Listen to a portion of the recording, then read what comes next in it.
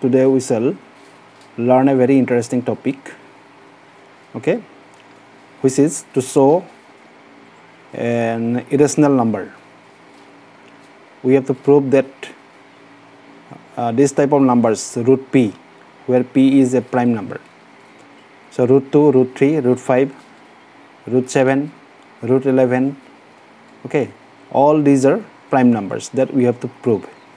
Of course you got these numbers as irrational number in class 9 is that it?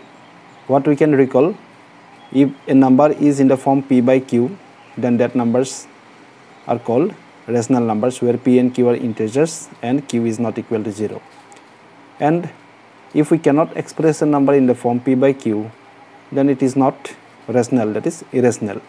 Moreover we have we got another definition of irrational number that it should be a non-recurring and non-repeating numbers. Is that it? Okay let it be.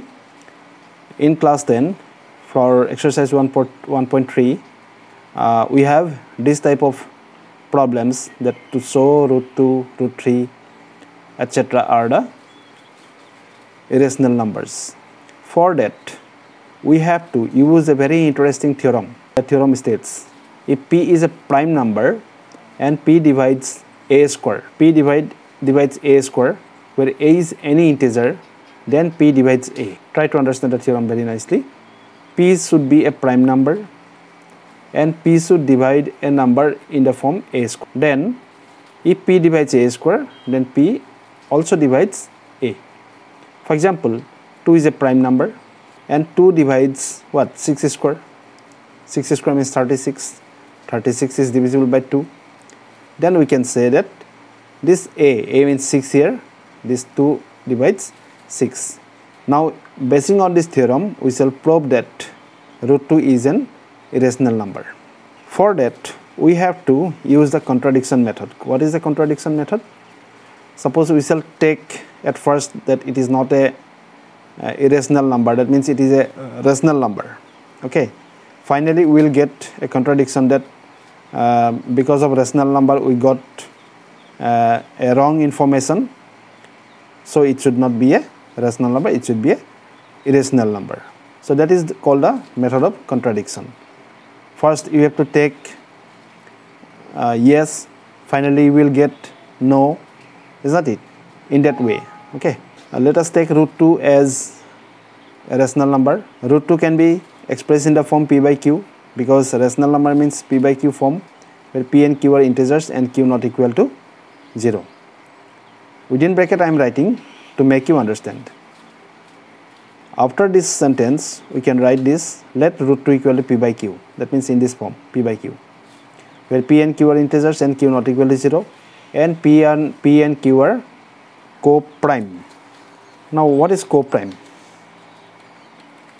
What is co-prime? Co-prime means their HCF is 1 that means they don't have common other than 1 they don't have common other than 1 1 is the common factor for both p and q. Suppose 4 by 8 4 by 8 4 by 8 okay. 4 by 8 there is a common factor 2 1 of course it is common but there is another common factor which is 2 because by 2 we can divide both 4 and 8 after cancellation it will be 2 by 4 again there is common. 2 again we can cancel. 2 by 4 means 1 by 2 now 1 by 2 they don't have common other than 1 now 1 and 2 will be called as co-prime. Okay? So this is how we have taken here p by q. P by q means they don't have common. That means after cancellation we cannot cancel further. That is called the lowest form also. Okay. Lowest form uh, or co-prime. That means they have common only one. Their HCF is 1 so this will give us what? This will give us if we cross multiply root 2 and q it will be root 2 q equal to p. Root 2 q equal to then if we square both sides then it will be whole square equal to p square. Root 2 square means 2 then q square then equal to p square. Let it be number 1 implies this 2 we can brought to this side. It will be p square by 2 isn't it? P square by 2 so q square equal to p square by 2 uh, as we know p and q both are integers. Integers means what? The round figure numbers so when we divided p square by 2 we got an integer which is q square. That means what? When we got a uh, when we uh, got a integer got an integer after dividing if it is exactly divisible. That means if p square is exactly divisible by 2 then only we will get an integer this side is that it? So uh, we can write 2 divides p square. 2 divides p square and by using this theorem using this theorem if p divides a square then p divides a. P should be prime. Here 2 is prime. So if 2 divides p square then 2 divides p. If 2 divides p square then 2 divides p by using that theorem isn't it? Okay. If p if 2 divides p that means we will get another integer. If we p if we divide p by 2 it will be exactly divisible. Exactly divisible means we will get another integer which is say m. Put p equal to m in 1 equation 1 we will get 2q square equal to 2m whole square. This will give us 2q square equal to 4m square. If we divide both sides by 2 we will get q square equal to 2m square. If we bring this 2 to this side then it will be q square by 2 equal to m square. What is m? m is some integer.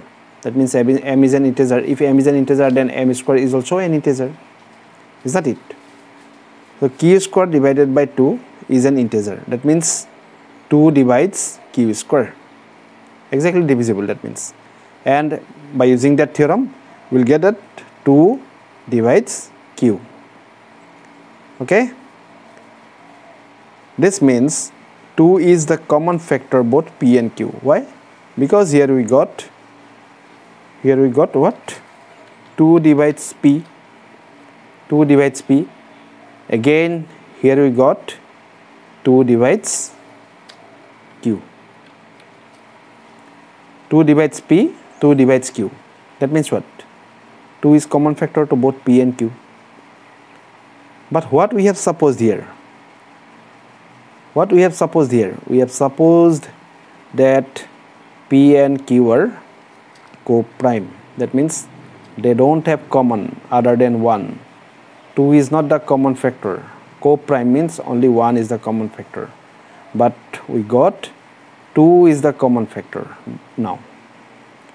2 is the common factor. So what we got? 2 is the common factor to both p and q. But we suppose p and q are co-primes. That means they don't have common other than 1 so what we got?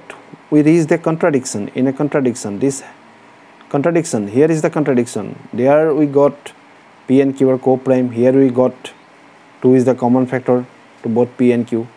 That is the contradiction is that it? And why this contradiction happened? This happened because we took root 2 as a rational number. So when we suppose root 2 as a rational number then we arrive at the contradiction. Okay? That means what root 2 should be retour sut bi irrationnel